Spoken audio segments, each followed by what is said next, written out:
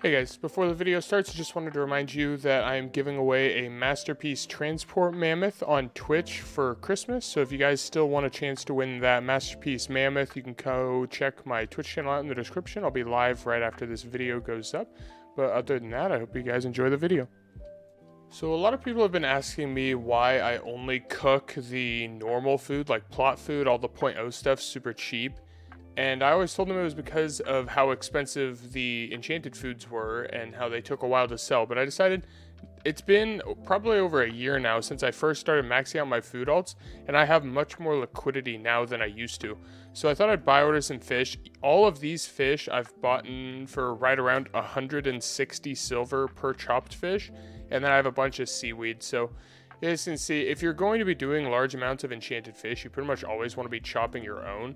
So you can come here and the reason why I bought a lot of like tier 7 and tier 6 is because these actually chop quite a bit faster uh, compared to the other ones. But we'll go through, chop all of this fish, and I'll show you guys exactly what fish sauces I'm going to be turning them into and how we're going to profit using the enchanted fish.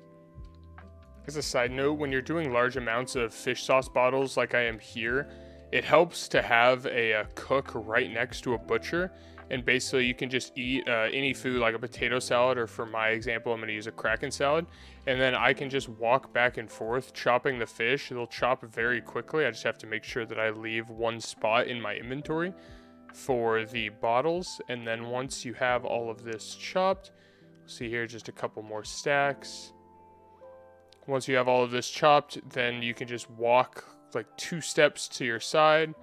Come here, and for this video, we'll be doing mostly the basic fish sauce, but I will make some fancy fish sauce bottles as I will need some point twos. So basically that's all we'll do is we'll sit here, chop fish, go back, turn them into fish sauce bottles, and I will see you guys when I have all of the fish sauce bottles made.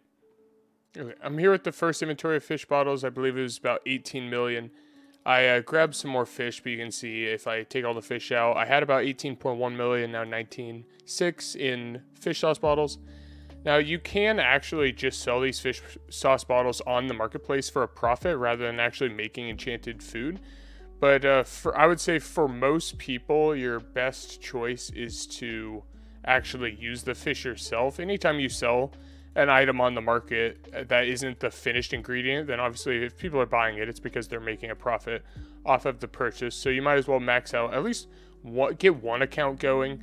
And one account, if you're doing like all the maxed out enchanted food like this, can make you upwards of, I would say, probably 200 to 300 million silver a month, depending on how high of enchant you're going on the food. Now, obviously, if you go super high like that, you're going to need a ton of liquidity because you're only really making about 10% profit. So if you're making 300 million silver a month off of selling like 0.3 foods to the market, then you're going to need to be selling about 3 billion silver worth of food in that month. So the 300 million mark's pretty uh, pretty out there, but I'd say 150 million to 200 million is fairly simple to get um, doing the enchanted food. Again, that's if you have the liquidity to actually uh, list those and wait for them to sell. Okay, the rest of the fish sauce has been chopped. I'll go to the island and grab the rest of the fish sauce bottles. Now for this video, just for the sake of my personal use, I will be doing Kraken salads. Uh, as you've probably seen in most of my videos, and if you've come to the stream, I use Kraken salads basically every day for everything I do. So Kraken salads given me an easy thing to create that uh, that I can use without really worrying about finding a buyer, and I need a ton of them anyways. I'm running out of pretty much all of my Kraken salad types. So we'll come here, I'll grab my fish sauce bottles, and I went before this video and grabbed some of these Kraken salads. So I just need potatoes, foxglove, and mutton. One thing you will notice that uh, is, is a big benefit to doing the enchanted food is that you never really have to worry about the price that you're paying for like these ingredients like the price of like the potato and the foxglove is basically irrelevant compared to the fish sauce bottles. You could honestly probably bid like double. Like these potatoes are worth about 280 to 300 silver. You could probably buy them for 600 and it would have like a fraction of a difference to your overall profit at the end. But I'll buy these ingredients. We'll head over to the plot and I'll show you guys how much it costs uh, focus point wise and what profit you can expect from doing enchanted food. All right, we have all the ingredients here. And I figure I can put a little disclaimer. As you can see, this is 55 million silver worth of food ingredients. This, I almost guarantee, is not going to come anywhere close to using even 30,000 focus points. Just one alt worth of focus. Uh, that's the main problem with Enchanted Food is that uh, you can make really good profit with one account, but it just doesn't scale very well into making multiple accounts over and over. But we'll see. We have just under 55 million. We'll make the point twos first. And you can see it's only 55 uh, focus points per point two. So I can I can come here and spend all of these fish sauce bottles, and it'll probably only cost me about 4,000 focus. You can watch just how fast the estimated market value climbs when you're creating food like this. 55 million, just spending 3,000 focus points. So a normal profit would be like 300,000 silver here. You can see instantly popped up 57.6. So you're making two and a half million, give or take, after tax based on the estimated market value. I believe for these right now, it's actually about a thousand profit per focus. So every 1,000 focus points I spend is a million silver in profit. There you can see, so we have 87, 87 Kraken salads at 57 focus each is 47,085 focus. At a thousand profit per focus after tax, you're looking at about 5 million silver profit just in that little bit of salads. Now we can come here and we'll spend the bulk amount of our Kraken. The 0.1 foods are the ones that I use the most. I use these for all of my cooking, all of my refining. And so we'll do 271 here of the point ones, and then I will spend all of the Krakens I get back from the resource return rate on probably just the point O's. I use point O's for all of my alt alt refining, just spending the 30,000 focus points every day.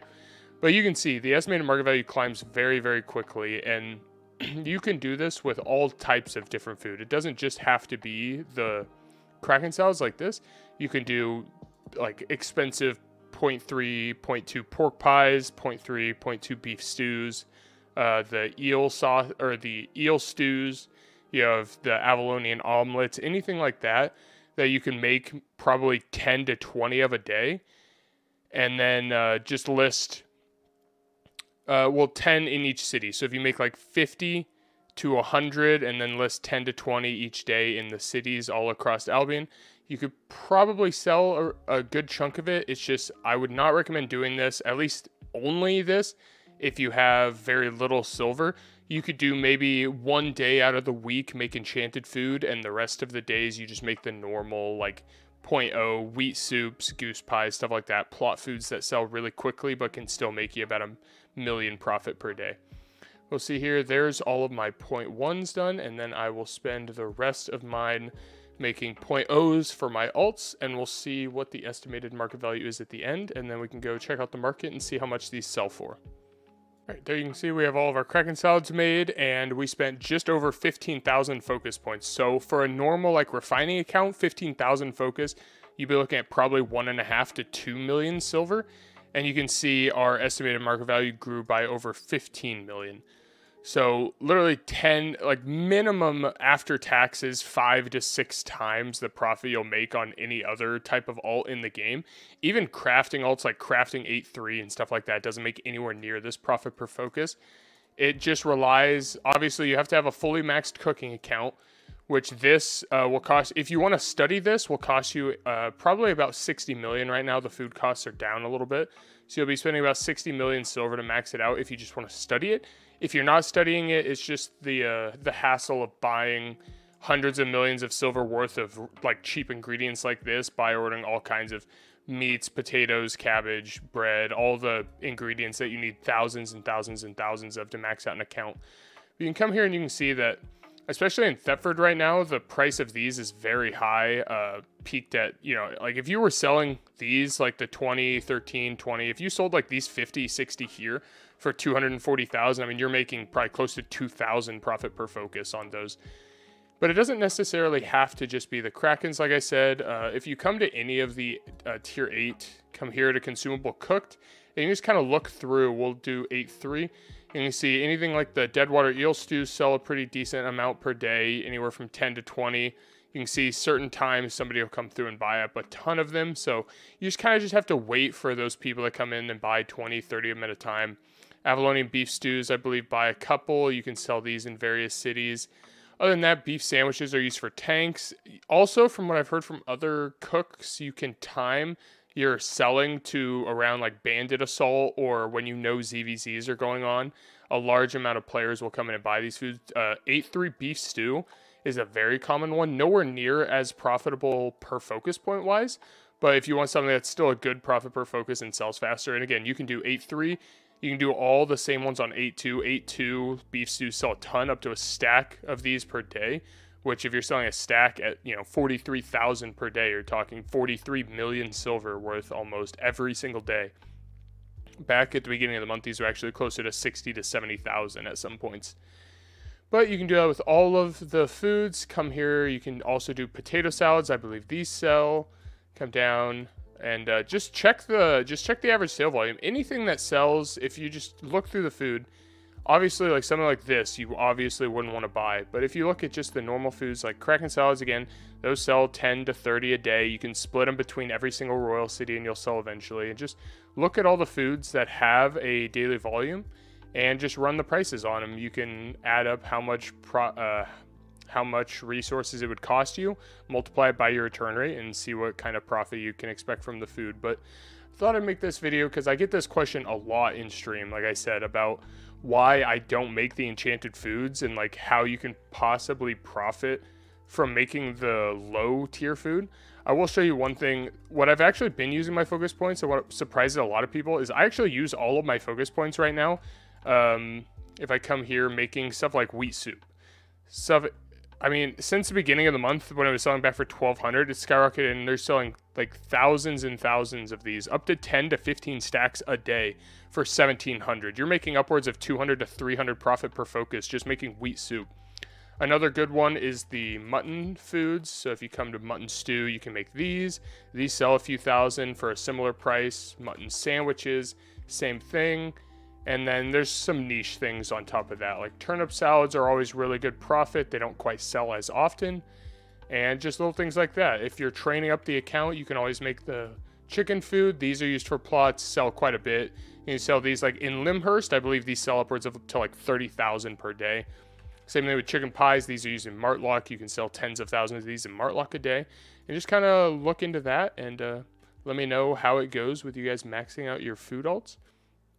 But with all that out of the way, I hope you guys enjoyed the video. And like I said at the start, I'm giving away a Masterpiece Transport Mammoth. Not this Masterpiece Transport Mammoth. I actually will be crafting one myself and turning it into a Masterpiece. So the one that you guys win on Twitch will actually say crafted by Doubleback Envy.